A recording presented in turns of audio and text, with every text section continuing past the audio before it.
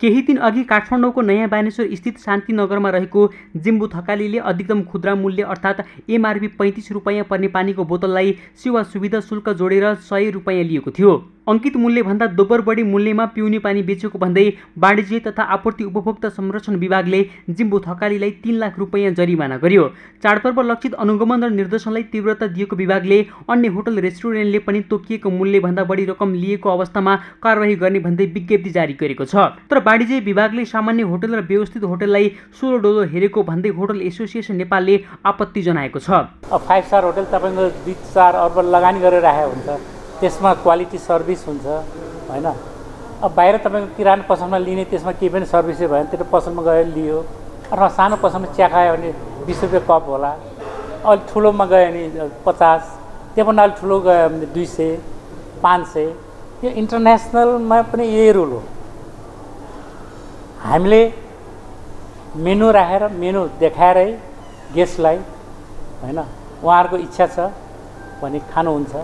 इच्छा छ भने खानुहुन्न हामीले कसै कस्टमरलाई जबरजस्ती त गर्दैनौँ। होटल एसोसिएसन नेपालले बुधबार एक विज्ञप्ति जारी गर्दै वाणिज्य विभागको काम कारवाहीप्रति असहमति जनाएको हो। व्यवसायीहरूले होटल तथा रेस्टुरेन्टमा बिजुली पानी व्यावसायिक भाडा सुरक्षा सरकारलाई बुझाउनु पर्ने कर कर्मचारीको तलब भत्ता अन्तर्राष्ट्रिय मान्यता अनुसारको मापदण्ड पुरा गर्दा खर्च धेरै उठ्ने भन्दै सबै कुरा एमआरपीमा बिक्री गर्न नसक्ने बताउँछन्। तर वाणिज्य विभागले भने होटल तथा रेस्टुरेन्टले त्यहाँ सुविधा दिँदा बापतको रकम लिन सक्ने भए पनि सिलबन्दी गरिएका खाद्य तथा पेय पदार्थ प्याकेट वा बोतलमै बिक्री गर्दा एमआरपीमै बिक्री गर्नुपर्ने अडान राख्दै आएको छ।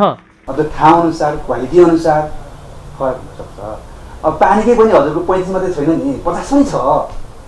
जस्तो हन्ड्रेडको तपाईँको पचास साठी पनि हुन्छ अब उसले पुष्टि गरेर पुष्टि गर्नु पऱ्यो र पुष्टि जुन एमआरपीबाट उनीहरूले पुष्टि गरेका हुन्छन् त्यसै एमआरपी आफ्नो पाउँदैन दिनु पनि उसले उनीहरूले विश्लेषण गरेर गरेका हुन्छ त्यो भएको हुनाले जे कुरा चाहिँ सेवा छ भने सेवा जोडिन्छ नि त्यसमा सेवा जोडियो। सेवा नजोडिने ठाउँमा चाहिँ अब एमआरपीमै बेच्नुपर्छ नत्र भने त्यो उपभोक्ता आकर्षित हुन्छ।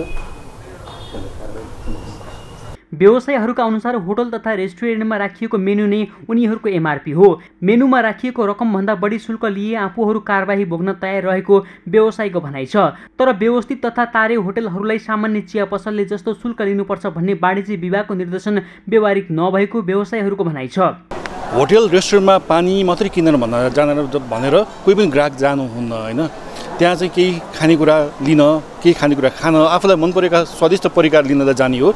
र होटेल रेस्टुरेन्टमा पानी मात्रै खान ग्राहक कोही गइहाल्यो भने पनि हाम्रा कर्मचारी साथीहरूले त्यहाँ उहाँलाई चाहिँ टेबलमा राखेर ग्लासमा पानी राखिदिएर चिसो तातो अब अवस्था के छ? जाडोमा एसी गर्मीमा पनि एसी पङ्खा लगाएर राखेर दिने सेवा सुविधामा चाहिँ एमआरपीमा बेच्नुपर्छ भन्ने कुरा जुन वाणिज्य विभागले गरेको छ त्यो कुरामा चाहिँ एज अ हामी व्यवसायको नाताले त्यो कुरालाई चाहिँ हामी मान्न तयार छैनौँ।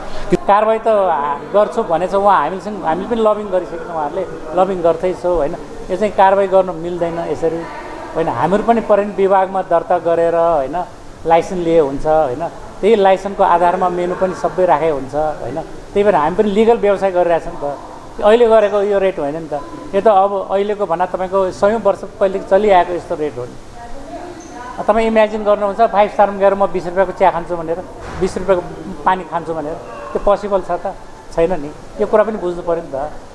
उपभोक्ता संरक्षण ऐन दुई हजार पचहत्तरमा कुनै पनि उपभोग्य वस्तु एमआरपी अधिकतम खुद्रा मूल्यभन्दा बढीमा बिक्री गर्न नपाइने व्यवस्था छ। एमआरपी भन्दा बढीमा बिक्री गरेको पाए सोही ऐनका आधारमा वाणिज्य आपूर्ति तथा उपभोक्ता संरक्षण विभागले कारवाही गर्दै आएको छ।